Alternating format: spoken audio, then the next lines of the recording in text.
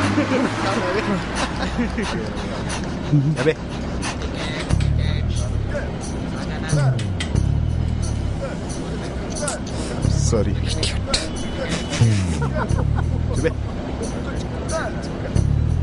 हो रहा है ये हाथ फिसल गया था तुम लोगों की हाथ जलती अंगी थी और बिजली के नंगे तारों पे क्यों नहीं फिसलते चलता है ना अंकल छोड़ो ना अच्छा अपनी सगी बहन के कंधे पे कभी हाथ फिसला है तुम्हारा ओ अंकल हाथ था फिसल गया सॉरी बोलता है सरक, सरक, सरक, हाथ था फिसल गया सॉरी बोलता है अरे थोड़ी शर्म करो